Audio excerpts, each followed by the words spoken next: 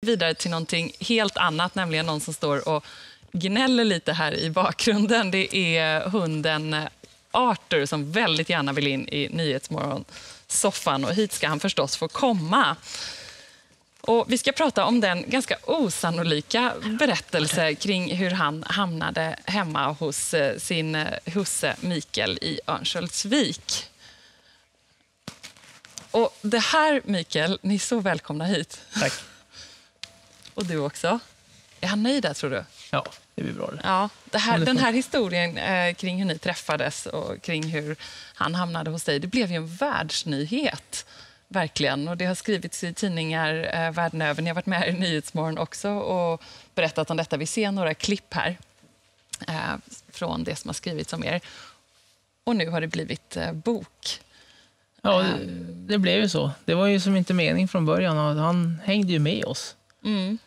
Du så- tänkte inte ens att du skulle skaffa hund typ någonsin? Nej, jag har aldrig haft behov av det. Jag har aldrig känt att liksom, hund det är någonting för mig. Utan, men han hängde med oss och han var väldigt illa däran och skadad och såren. Och, Och oss, ska vi säga, det var landslaget Ja, i det är hela multisportlaget då. Ja. mm, hela multisportlaget, som var VM i Ecuador. ja, det var 2014. Ja. Så i november så... eh, Han följde med oss där liksom, och det var ju enorma strapatser vi gick igenom. Ja. Och, nej, jag hade liksom inte mage att lämna honom bara där, för då hade han ju... Han, hans skador och allting, han hade ju inte överlevt speciellt länge. Men han liksom dök upp från ingenstans och bara hängde på.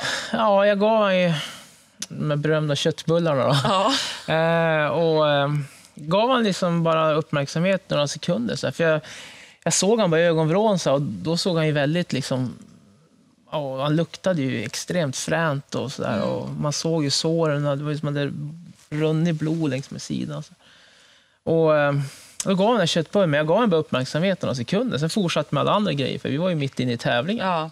Men sen var det på nästa sträcka, vi skulle ut i djungeln, då vi, då vi såg efter ett tag att det var en hund som följde efter. Då, upp, då, kom, då kände jag igen honom då, att ja, men det är samma hund som jag gav köttbullar.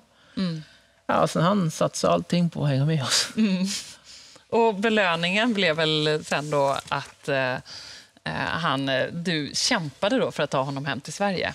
Ja, det blev så. Vi, vi kom i mål efter sex dygns i princip nonstop tävlande genom djungeln och eh, regnskogar och allting. Och efter det så... eh, Nej, jag kände bara att... Liksom, först tänker man ju så här att ja, men hur ska vi göra? Ska vi ta honom till en veterinär ta honom tillbaka där han kommer ifrån?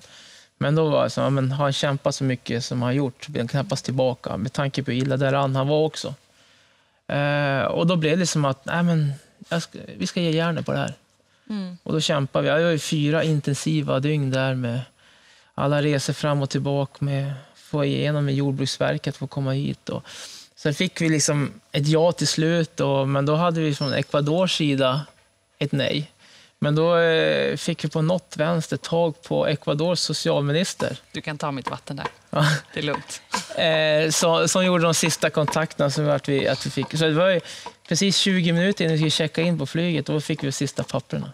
Ja.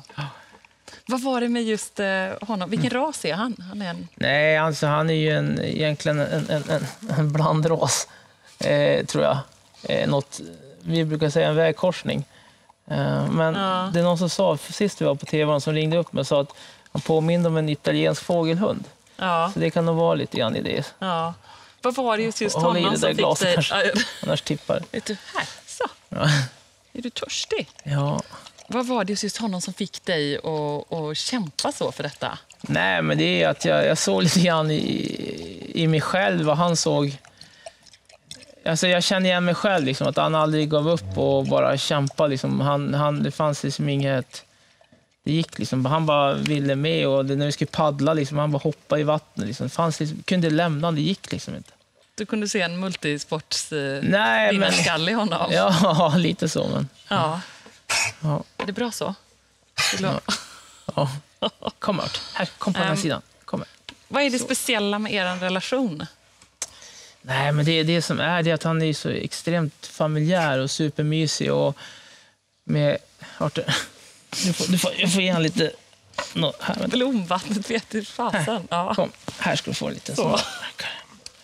Vi har ätit frukost och druckit allting.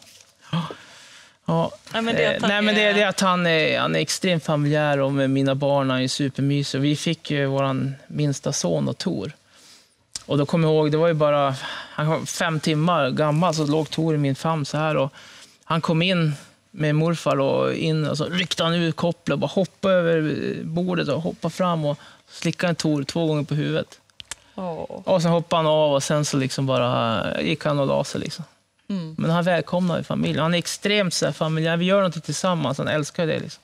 Ja. Och båda era två barn är förstås kära i honom. Ja, ja. ja, men med Filippa då det så att hon var lite försiktig från början, men sen Ja. har det liksom växt ihop så att de, blir, de är supermysiga tillsammans. Eh, och nu har det här berättelsen blivit bok och även i England som jag förstått. Och Ja, den släpptes först i England i en maj. Då. riktig Ja. bästsäljare. ja, den har väl legat där några veckor nu. Ja, Hur trivs han med kändislivet?